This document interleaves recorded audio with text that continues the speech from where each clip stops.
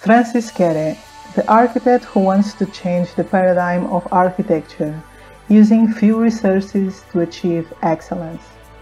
In this video, I want to show you why he was laureated with the Pritzker Architecture Prize in 2022, and why his practice makes us question ourselves about the real purpose of architecture.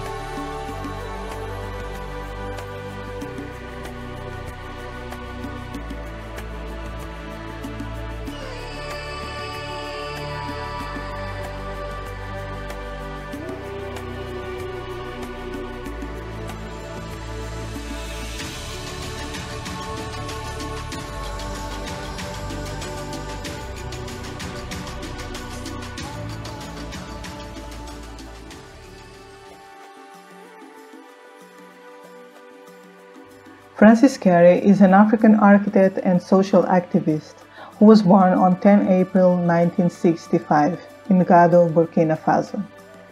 He graduated in architecture at the Technical University of Berlin in 2004 and in 2005 he founded the Kere Architecture Studio, a firm focused on the development of projects with a social impact using eco-friendly and local materials in a modern but African-inspired approach. During the years, he was received recognition for his works. Winner of Aga Khan Award for Architecture in 2004, Global Holcim Award in 2012, designer of the 2017 Serpentine Pavilion, and this year the Pritzker Architecture Prize. His architecture is deeply influenced by his experience as a child in Gando, Burkina Faso, where there was a strong sense of community in his village. Most of the daily based activities were developed together, like securing food, water, or even building the houses.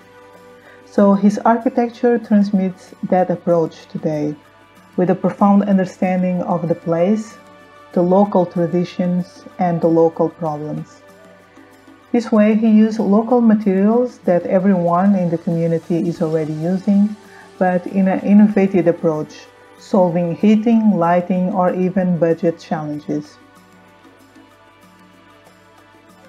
He developed a very expressive but low-tech architecture, characterized by double roofs, thermal mass, wind towers, indirect lighting, cross ventilation, and shade chambers. His strong sense of community is the driving force of his architecture, that are developed for and by the community. Here everyone is involved in the building process, contributing for the empowerment and development of local people. In this sense, we must think that his approach is a game changer in the way we see and think sustainability in architecture.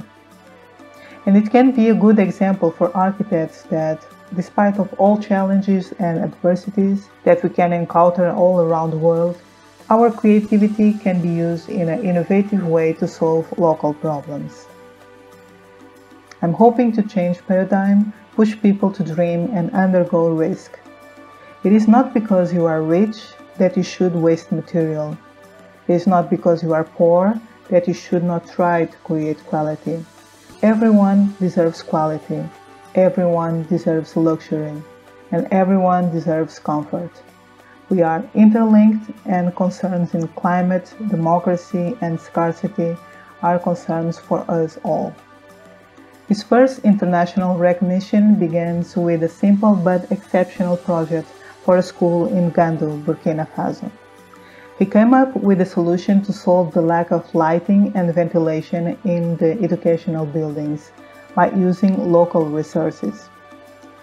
So, using local construction techniques and materials such as the clay robust bricks, it was possible to reduce the cost and create a solution adapted to the hot climate.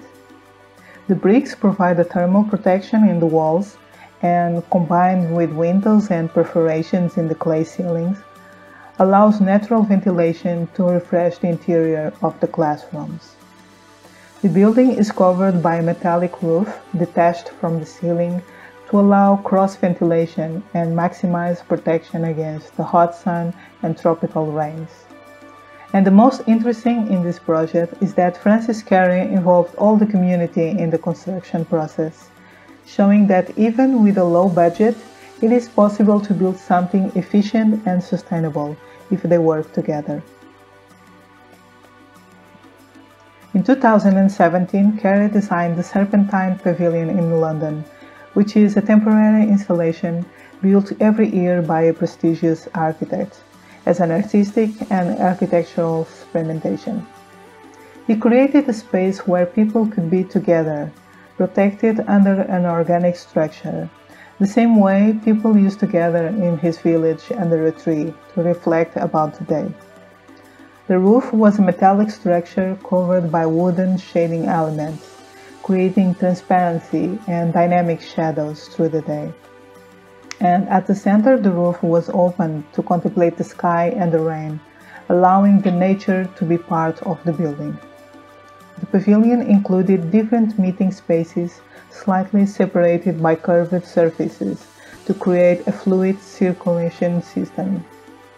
These curved walls were an assembly of wood elements that create a geometric pattern inspired in nature and African culture.